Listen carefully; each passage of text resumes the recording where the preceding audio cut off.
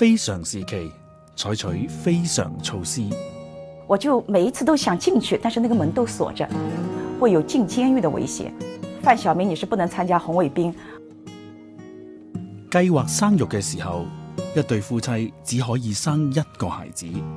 我当时我的脑子就要炸开了，我想去做人工流产，我的工作差点都没有。挣扎都告诉他，我也流泪了。改革开放嘅时候，全民经商，大家都在讲钱啊，怎么赚钱啊，怎么把自己打扮得漂亮一些啊，吸引人啊。生活喺动荡变迁中嘅人，内心更加渴望一份宁静同祥和，佢选择出国。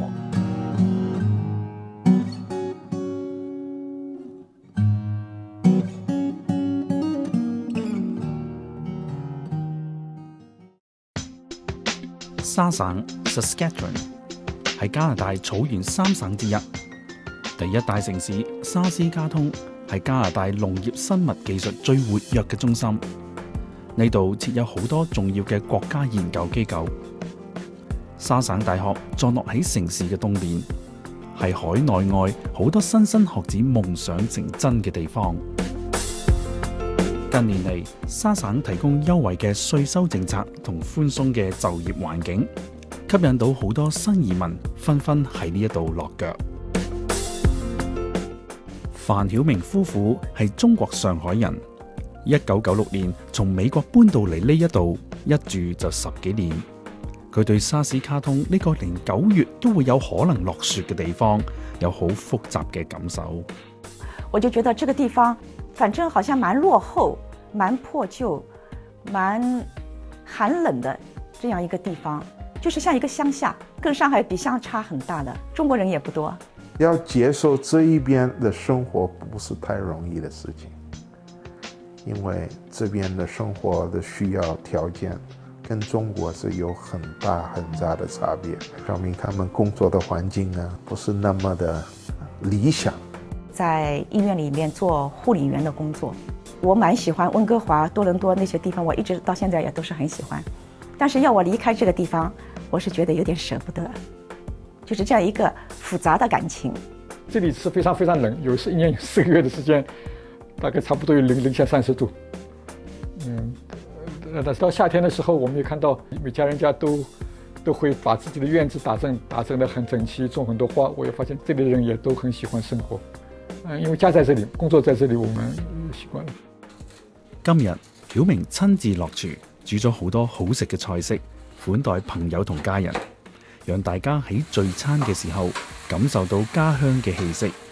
喺呢个远离故土、人烟稀少嘅地方，家嘅温馨气氛好容易驱走心里边嘅孤寂。家庭背景好影响一个人嘅成长，特别喺中国文化大革命嘅时期。家庭出身通常决定咗一个人嘅命运，出身唔好嘅人根本就冇前途可言，因此造成唔少嘅人间悲剧。五十年代出生喺上海嘅范晓明对呢啲更加有感触。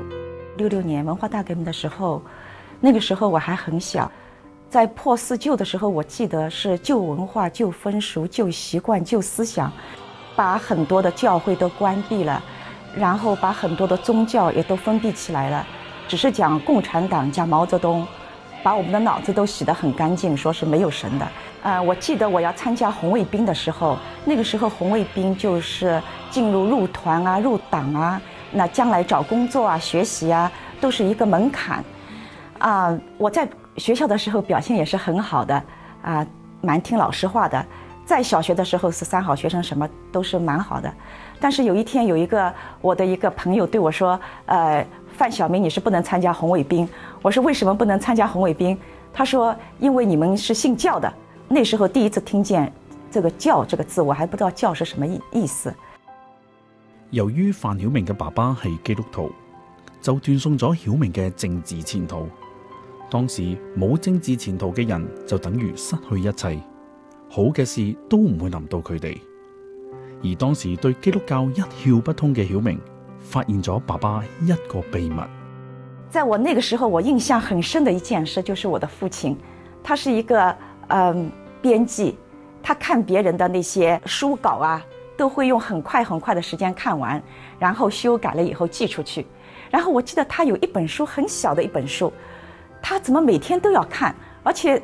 每一天都看，那就是说明他没有看完。后来我就很好奇，我想去看看那本是什么书，因为那个时候是文化大革命，这些宗教啊都是不能说的，会有进监狱的危险。我就每一次都想进去，但是那个门都锁着。只是有一天那个门开了，然后我就进去。进去那个抽屉呢，我拉一拉，那也是开着。然后在那个角落里，我发现一本小小的书，我就知道那书就是我父亲他一直看的那本书。后来我就翻开。翻开我就看见耶稣的名字，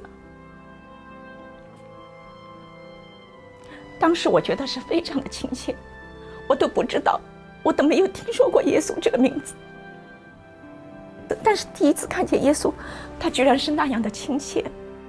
后来我就想了，如果是为了这个名字，如果他们说信教就是这个名字的话，我不加入红卫兵，我当时觉得都没有关系。但是。啊，那只是感动了一阵子，后来我就忘记了。喺文革期间，有人承受唔到家庭出身所带嚟嘅压力，被逼同亲人划清界限，为免受到牵连而造成家庭破碎。但系呢个经历令到晓明对父亲嘅信仰有着朦胧嘅认识同理解，唔似得其他嘅家庭咁样演出咗一场嘅悲剧。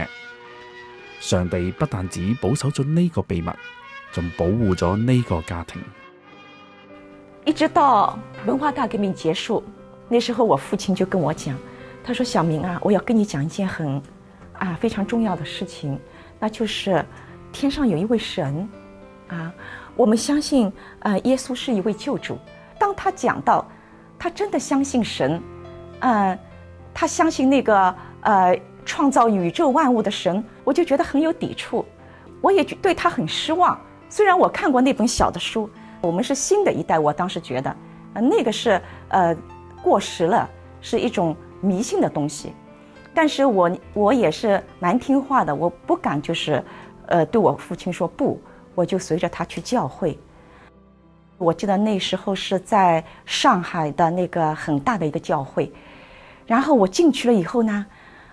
我简直就是很感动，里面里面有很多很多的人，他们都在那里愉快地唱赞美诗，一面唱一面流泪，那我就觉得那些赞美诗非常好听，他们在流泪，我就觉得非常的感动。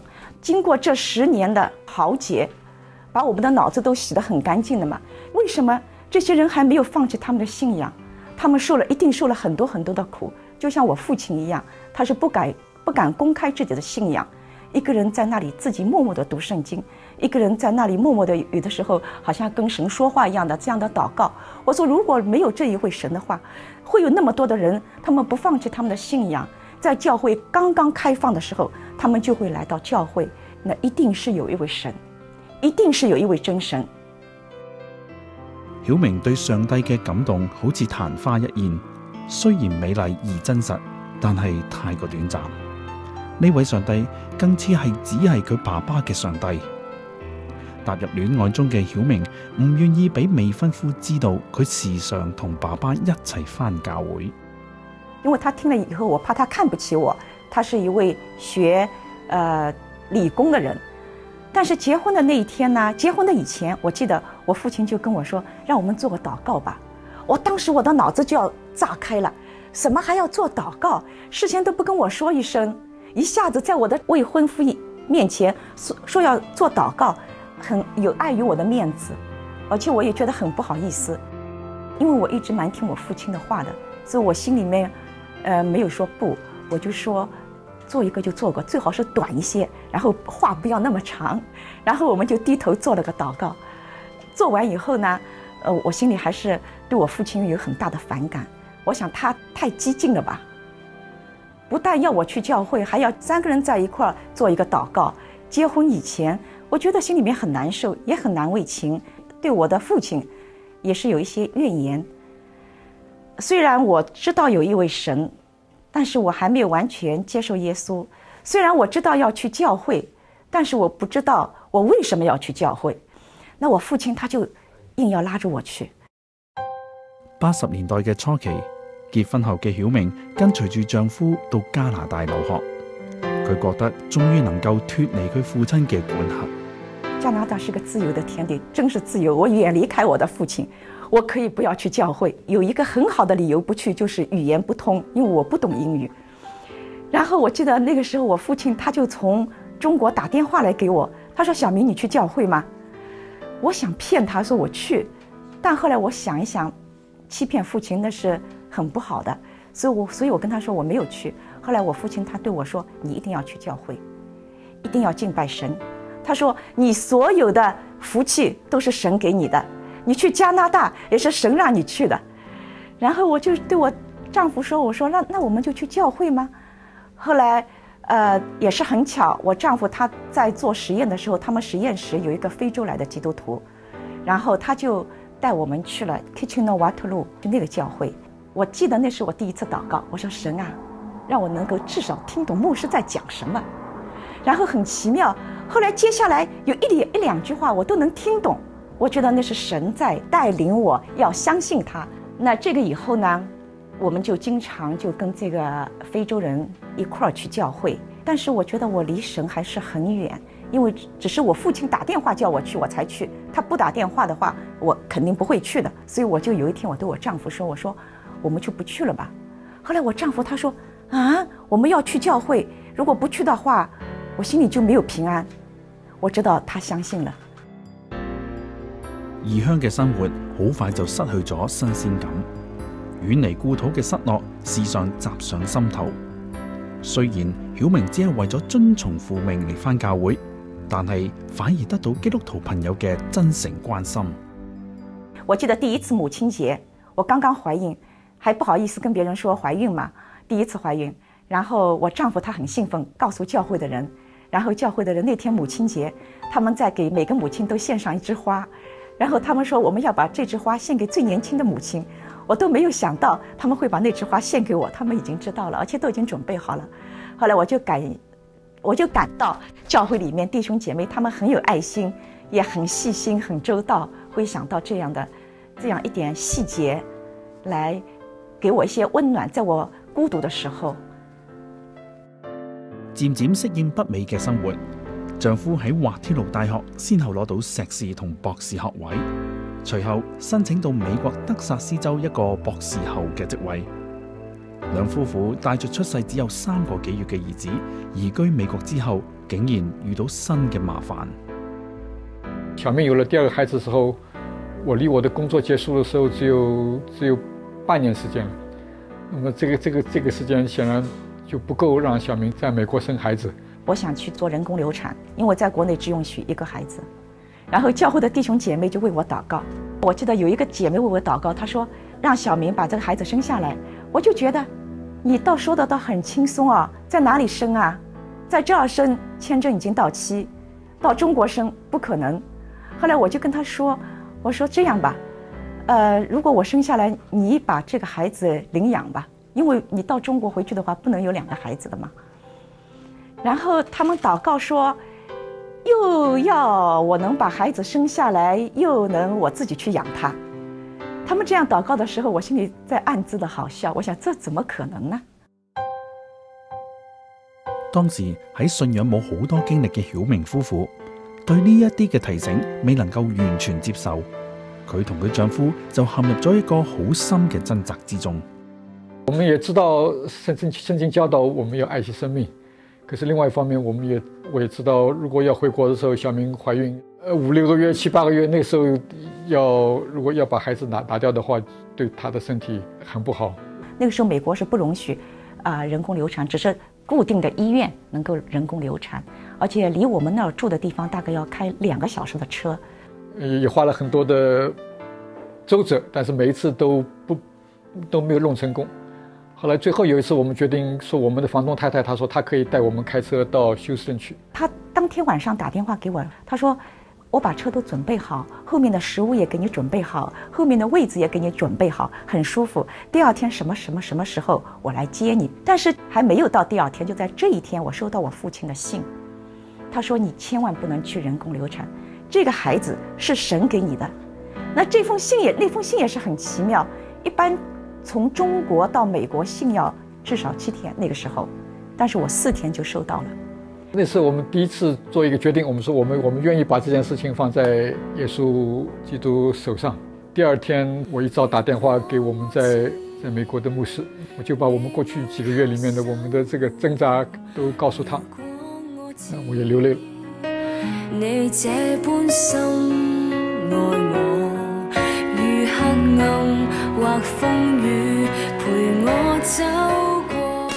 那时候就是说，我愿意把我的生命交给耶稣基督。然后很奇妙，我们就不开始担心了，不为海明、小明要回国的事情担心了。我的工作的最后一天基本上到了，到了，到了。但是那天上班之前呢，就是我要去把我的钥匙还给教授了。早早上有一个同事。另外一个博士后打电话给我，他说：“原来来接替我的这个人可能他不来了。”教授就把我的工作延长了一个月，延长了一个月，后来又延长了两个月，最后一次他延长一年，我们就有足够的时间在美国把孩子生下来。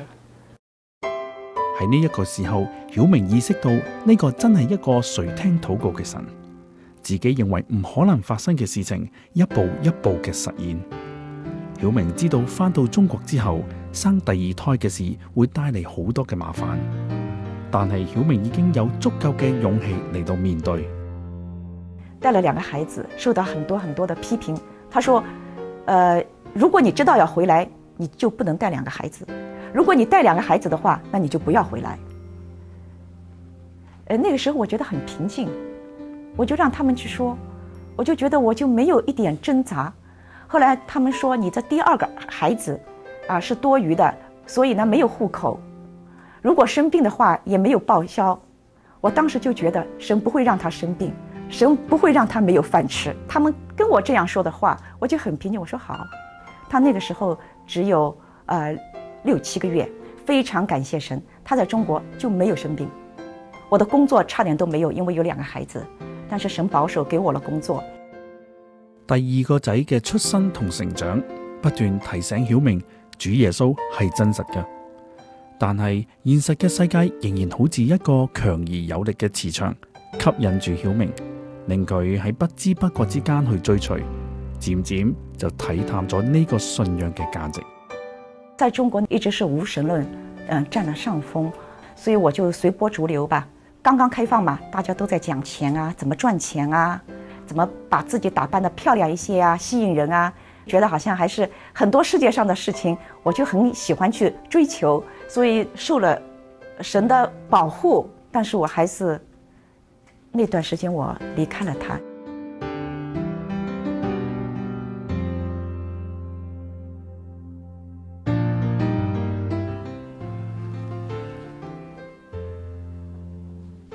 他不但找到了我，都没有放弃我。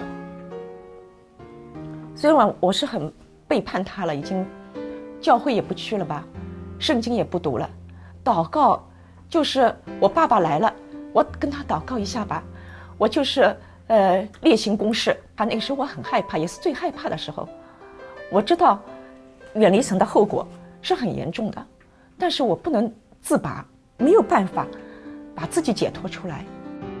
晓明发觉，佢所竭力所追求嘅嘢。只系白白占据咗佢嘅时间同空间，并冇令到佢真正嘅满足。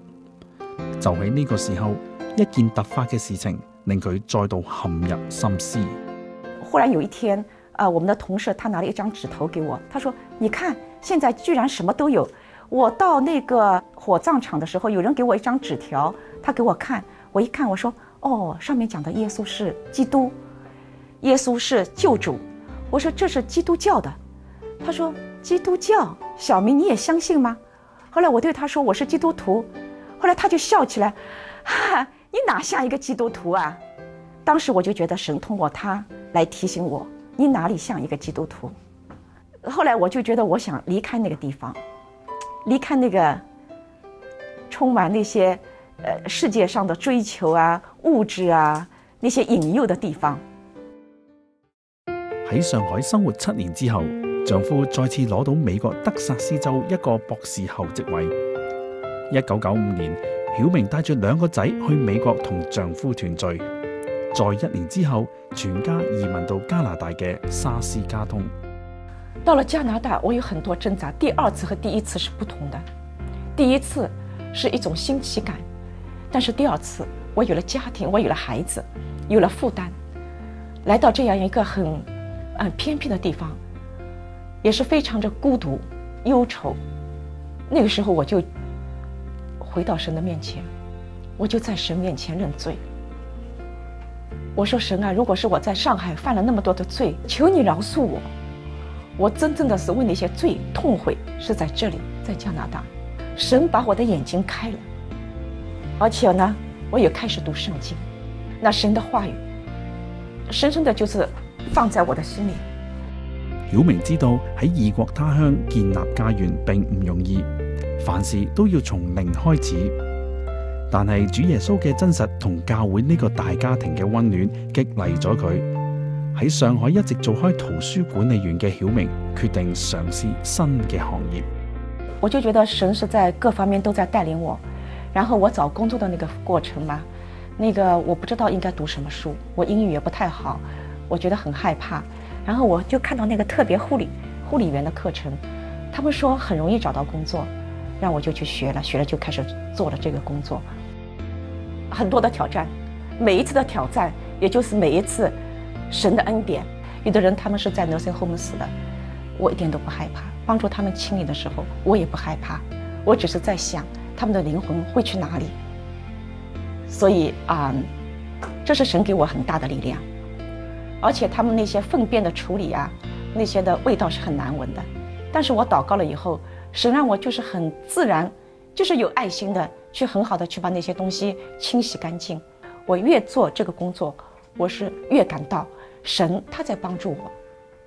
不断得到主耶稣嘅帮助，晓明夫妇决定将自己嘅屋企开放俾留学生同新移民，减轻佢哋喺人在异乡嘅孤独。喺呢个寒冷嘅地方，体会到家庭嘅温暖。